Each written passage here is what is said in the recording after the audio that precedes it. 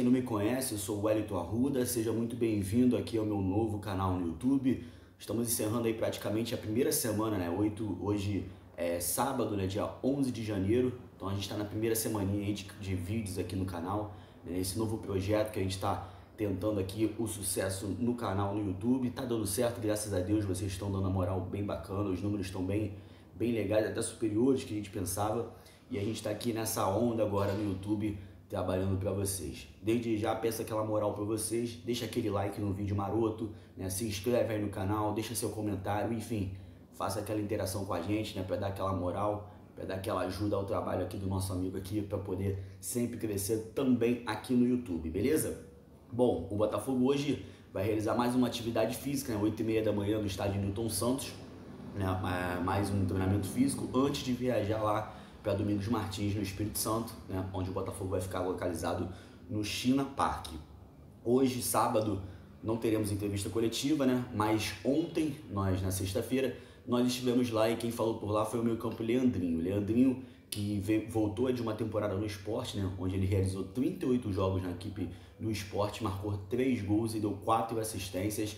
Leandrinho que foi campeão pernambucano e conseguiu o acesso né, para a Série A, que era o grande é, o grande objetivo da equipe do esporte na temporada passada, o esporte está de volta à elite do futebol nacional e o Leandrinho teve uma participação significativa, né, tanto no título da equipe do esporte, no título estadual, quanto nesse acesso à primeira divisão novamente do esporte. O Leandrinho jogou muito bem por lá, foi querido pela torcida. Como eu disse, foram 38 jogos realizados, boas partidas, e ele está de volta à equipe do Botafogo né, para poder colaborar com a equipe nessa temporada 2020. A gente, claro, torce para que seja o ano do Leandrinho, que ele possa arrebentar na equipe do Botafogo. Eu vou colocar para vocês um pedacinho aí da coletiva do Leandrinho, vocês acompanharem um pouco a fala do Leandrinho daqui a pouco a gente volta para comentar um pouquinho sobre isso, beleza? Então assiste aí. É, objetivamente você compara com a diferença da época do Leandrinho pré-esporte, quando ele estava no Botafogo, você sofreu lesões também, e lá você tem mais oportunidades de jogo. O que você encara como diferente, além desse amadurecimento de fato? Cara, eu acredito que a minha intensidade de jogo, eu, tive uma, uma mudança muito grande, uma coisa que era muito cobrada. Ah, inclusive, quando o Alberto esteve aqui da primeira vez, eu acho que eu consegui ter uma intensidade de jogo maior no esporte, consegui é, ter uma sequência grande. Porque eu nunca tinha tido um profissional aqui no Botafogo Eu já tinha jogado, tinha feito alguns jogos, mas nunca uma sequência grande como titular. Eu acho que eu tive isso no esporte, então foi, foi uma grande diferencial para mim, por eu a confiança tudo que aconteceu com a minha lesão, acho que o grande diferencial para mim é a confiança, a minutagem. Leandrinho, bom dia. Bom dia. É, eu queria saber como você vê essa oportunidade de voltar e como está a expectativa para retornar a atuar pelo Botafogo. Cara, é, eu fiquei muito feliz de, de voltar para cá esse ano. É, a maneira que eu tinha saído no ano de 2018, 2019 não foi a maneira que eu queria. Eu saí sem jogar, com a lesão, e muita desconfiança e eu entendo é, o meu potencial, sei que eu poderia ter ido melhor nesse tempo que eu tive aqui. Então eu vejo isso como uma segunda chance que estou tendo, estou tendo como um retorno, como uma, uma nova chance de, de, mostrar tudo aquilo que a diretoria, a base, todos eles acreditaram em mim nesse tempo todo. Então acho que estou é, trabalhando para fazer por, merecer, para desde que todos entendam que, que essa confiança que eu tenho deles não é por acaso.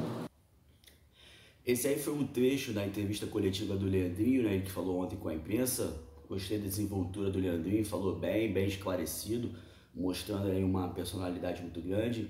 É o Leandrinho que desde a base, na verdade, a gente pode dizer, ele é um cara de muita personalidade, né? Apesar de muito jovem, ele sempre teve muita personalidade, sempre se destacou nesse, nesse quesito.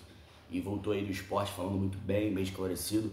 Foi uma boa coletiva do Leandrinho. A gente comentou sobre a minutagem dele em campo, né? Foi a maior minutagem que ele teve na sua temporada, né, em todas as temporadas, né, somando o que ele jogou nas outras três temporadas no Botafogo, não dá a minutagem que ele teve no esporte na temporada passada.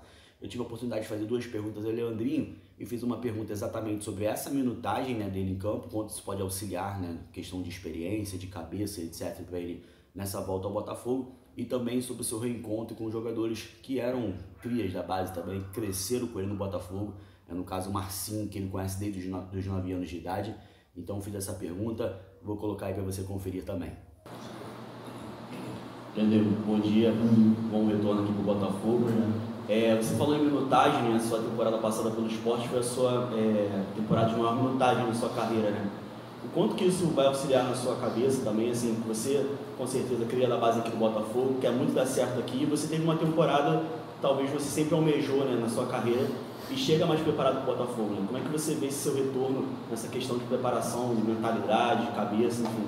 Com certeza. É, inclusive, nesse ano de 2018, meu ano inteiro de minutagem, eu nunca, somando meus três anos de profissional de Botafogo, não tinha atingido. Então, foi um, um, um, um ano muito bom que eu fui de lá. Em questão de minutagem, em questão de tudo, né?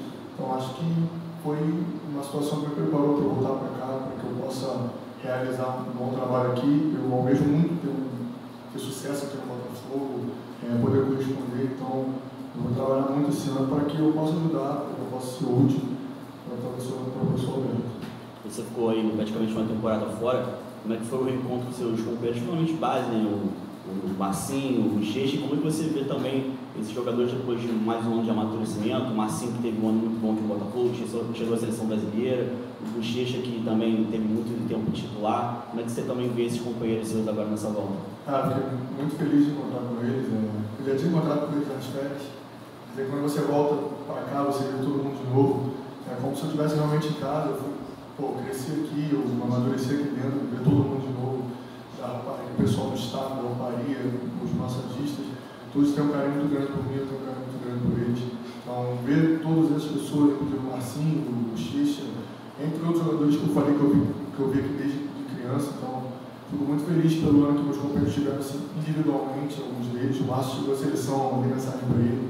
Foi muito gratificante, porque eu conheço o Márcio desde os meus 9 anos de idade, então ver o Márcio chegar lá é, é um sonho que ele realizou e que eu fico muito feliz por ele. Então, acho que a gente tem que continuar, eu falei para ele continuar nessa meta, para a gente continuar em frente, para que a gente consiga fazer um ano não só individual, como coletivo muito forte.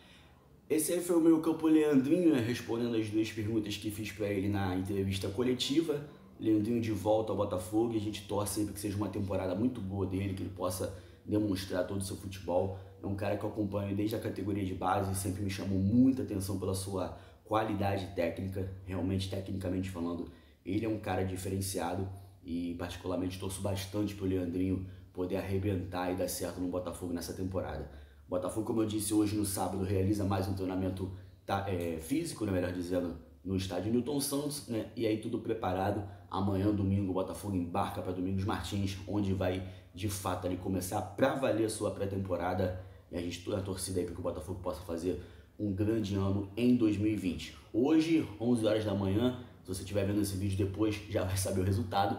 Mas o Botafogo joga na Copinha, né? Copa São Paulo de Futebol Júnior, partida contra o Botafogo de Ribeirão Preto, valendo uma vaga na próxima fase da Copa São Paulo. Vamos ficar ligados, vamos ficar torcendo para a categoria sub-20 e, depois, ainda hoje no sábado, né, a gente faz um vídeo especial falando, se Deus quiser, sobre uma vitória do Botafogo também na Copinha. Se inscreve no canal, deixa seu like, deixa seu comentário. A partir do próximo vídeo, tem uma rapaziada pedindo salve. Eu sempre esqueço, mas a partir do próximo vídeo eu me comprometo aqui com você, vou começar a mandar salve pra rapaziada, beleza? Muito obrigado aí pelo carinho, muito obrigado pela atenção de sempre. Tamo junto, até a próxima.